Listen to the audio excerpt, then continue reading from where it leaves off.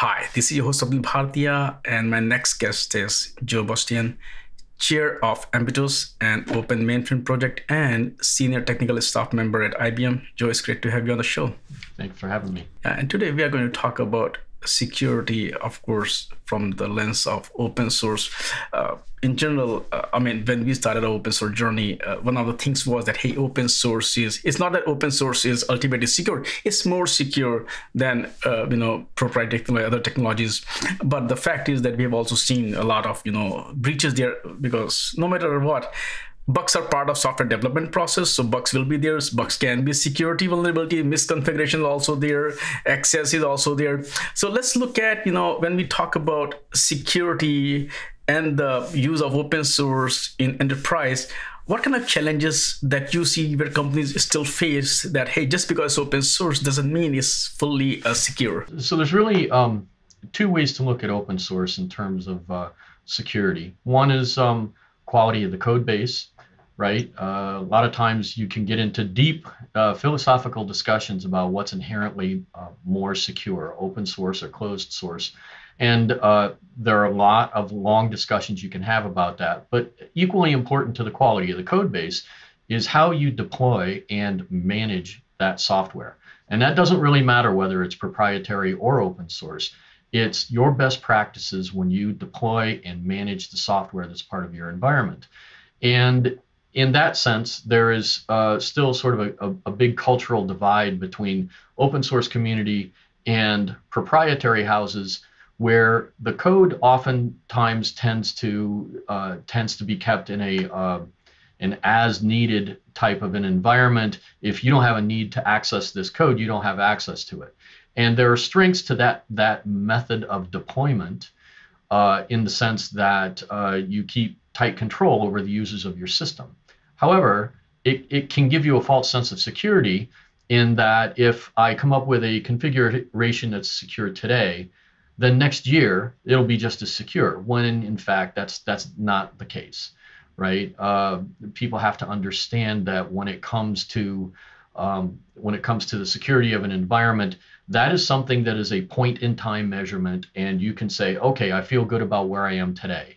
Uh, it doesn't mean that next year it's going to be just as secure because your bad actors out there in the world can find ways around uh, the different security measures that you take, and you have to be able to adjust accordingly. That's really where the open source community is strong because that community is constantly evolving and sharing information. So, what we really want to try to do is bring together the best of both worlds, right?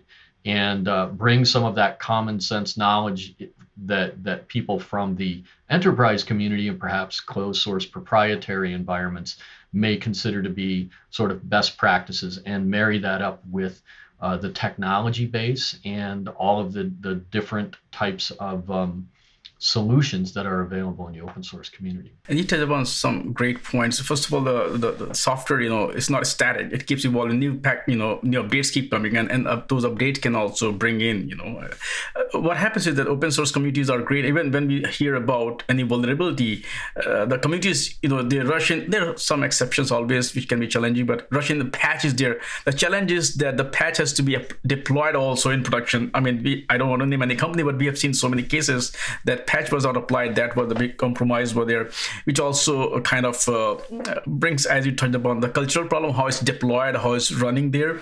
Uh, and it's not that you know it's the same thing as with the proprietary. Also the only difference is that you don't have to rely on a single vendor. Here open source community anybody can come up with a patch. But uh, talk a bit about uh, uh, when you look at you know the patch is ready but it's not being deployed. That's when we talk about persona or culture problem. Whose problem is security? That's why we talk about devsecops or sres so so what do you think from that uh, point of view? Yeah definitely the uh, the speed at which patches are deployed is is absolutely critical to the security of your environment. I mean, how many times have you read a story about a breach at a you know at, at some particular firm even security related firms where you find out that the patch was available a year and a half ago but just hadn't been applied now understanding that there are some complex dependencies between different sets of open source out in the environment uh, that have to be managed right? A lot of times, uh, an upgrade to one package uh, creates a conflict with another one higher up in the stack, and it takes some time to manage those so that they can be coordinated properly.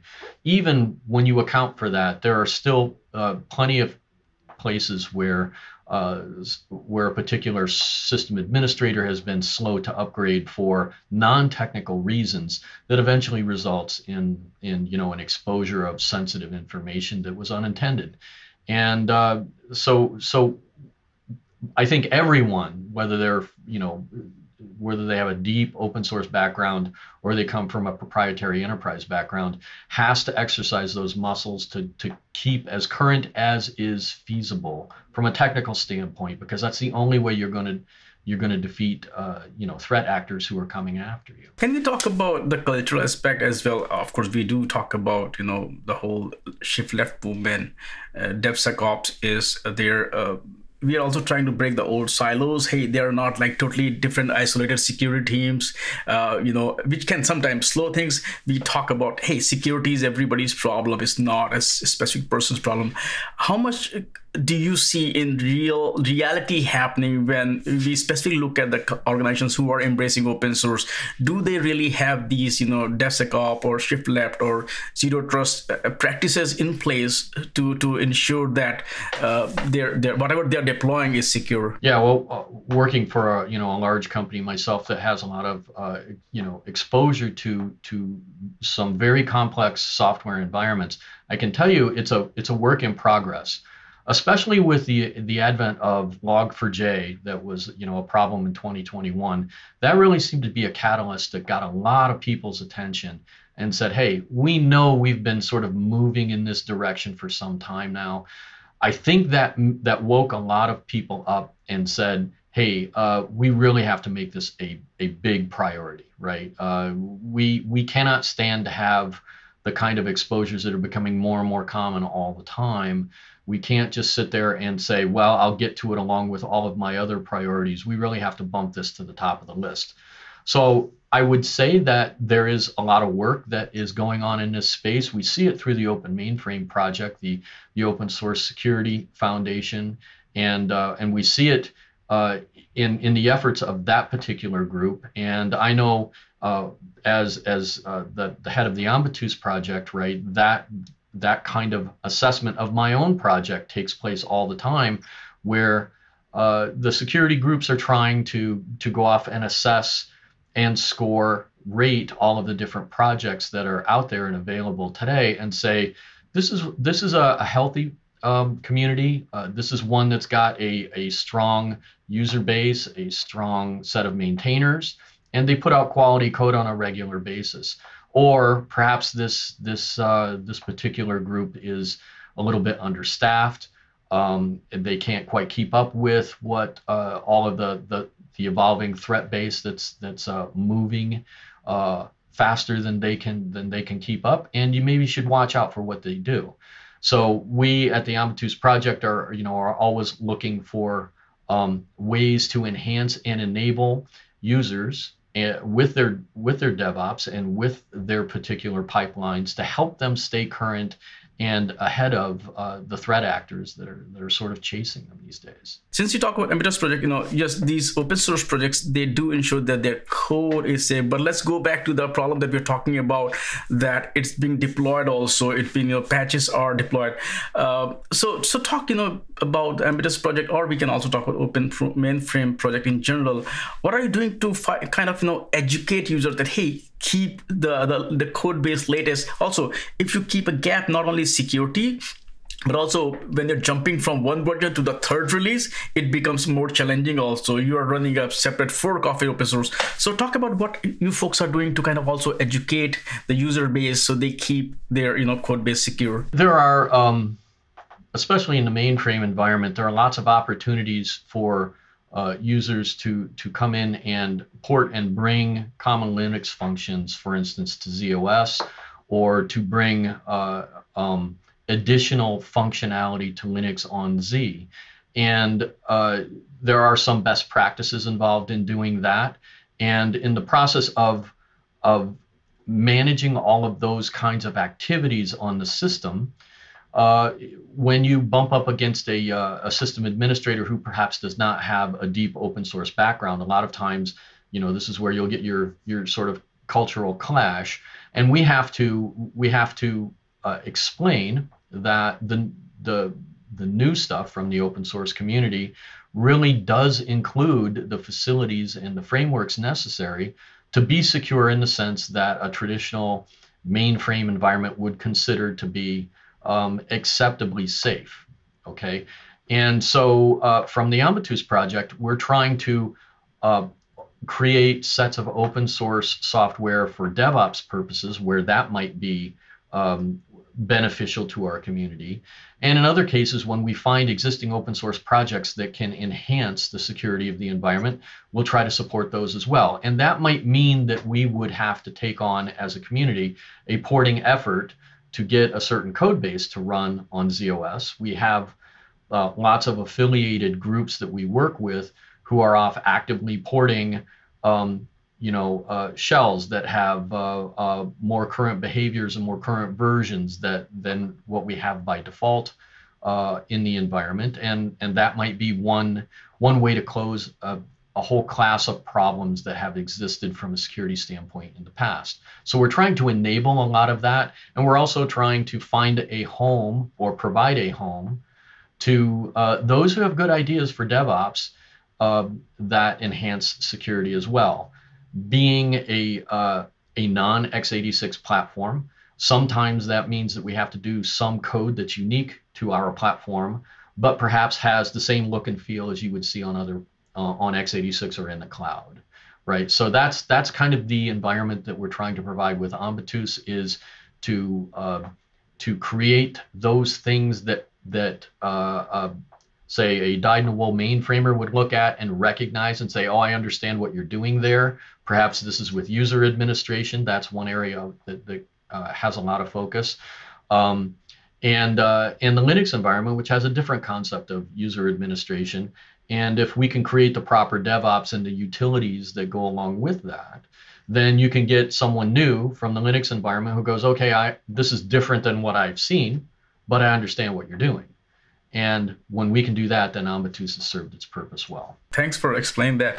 Uh, no, the, the, maintainers are all you know doing their jobs. Uh, users are also doing their jobs. But the fact is, there's no single open source community. There are open source communities. There are so many projects. There are so many libraries. Not just the libraries. A lot of you know, if you go to container work or you know, there they have a lot of packages and sometimes there are different developers they create so there, there may be different not versions but if you go and check there are like five different mysqls you know created by different maintainers. So so just because it's open source once again. So talk a bit about you know when we look at you know these repositories you know just because open source that doesn't mean the, it's all safe because it also means who is maintaining who is man managing it when was the last patch applied. So talk a bit about that aspect also. Whenever you look at a code base uh, the one of the well actually i mentioned the open source software uh, uh, the open source security foundation before or um,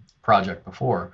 Um, one of their key metrics is how old are the packages that you have on your system right? And they can survey a whole set of code and say okay you're reasonably current or you're not.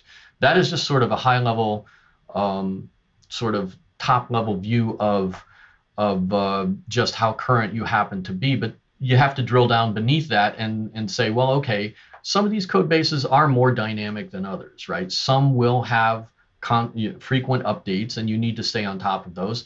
And if others say are a year or two old, uh, that's because they've provided a stable function for a very long time and uh, and are still secure. So these uh, these teams have to go and assess each one of these packages individually and then score the whole group and say, you're reasonably current, uh, you're reasonably secure, or you have some very serious holes that you need to go in and and um, you know and plug uh, just by upgrading to new versions of your of your code. And so there's a huge effort going on right now, just just trying to assess what your current posture is uh, as a group, and and uh, currency is definitely one of those kinds of things. Um, so anything that we can see uh, that that where we could create a workflow or a technique or a best practice and explain through the Ambitus project, you know, this is the best way to go about handling this. We realize that this is complex. Here's how we figured out how to solve this problem. We're certainly going to publish it there and make it available to everyone security is not a product like it's a, it's a process and it's not just one thing you know it's so many things. I also want to talk about you know if you can share you know kind not necessarily a playbook but some advice. For example let's just think about code base that has been sitting there you know you used it it's obsolete but it's still there. Uh, that can also create vulnerability you know. Uh, zombie code base you can say uh, misconfiguration is also access. You may have given wrong access. You don't even manage access. And of course keeping your software fully updated. So talk a bit about you know if you can share some you know advice that hey how folks can ensure that their open source code base that they are using in their services or product is safe. There are lots of there are lots of scanners out there uh, today that it, there's there's no shortage of them that scan for various kinds of things, known problems, CVEs that have been identified. There are ones that go out and scan source code and say, well, uh, we're not looking for known problems, but we do know of best practices, and we have a set of rules that form a policy, and that policy needs to be adhered to uh, in order for your code base to um, uh, to be deemed of uh, sufficient security, right? Uh, uh, I work on a product um, myself where we have to where we have to work with several scanners that look for all sorts of things like um, best practices in source codes, um, uh, viral licenses, for instance. Those are those are also in some sense a type of security uh, concern because somebody could write any kind of a license that they want and and get that widely adopted. And it can be a threat, maybe not in the same way, but it's still a threat. Um, so there are lots and lots of different scanners out there that perform various types of functions, and probably the best practice is to apply several of them uh, in a very organized way. Um, perhaps they overlap a little bit um, to give you better coverage overall. Uh, but what you really want out of that collection of scans is a, a good um, top level view of, of where you stand with everything, right? So perhaps you pick out one that scans for CVEs, one that scans for uh, source code policies that need to be followed. And, in, uh, and by the way, a lot of these scanners um, not only will identify problems, but also suggest uh, a remedy, right? So they will say if you upgrade to version, the version you have plus three, um, then you will resolve this problem. And that's very helpful, right? So it's it's good to not only know what the problem is, but if there's a suggested resolution, um, you know, then then uh, go ahead and follow that, and that can really um, you know help your administrators a lot. So just following those scanners, and there are many, um, you can you can go a long ways towards securing your environment. Joe, thank you so much for taking time out today and talk about this topic and also share your insights, some tips on uh, how, you know, of course, just because open source doesn't mean it's fully secure. We have to do a lot of work also. So thanks for sharing those uh, tips. And I would love to sit down and chat with you again. Thank you. Yeah, well, thank you very much. Thank you for having me.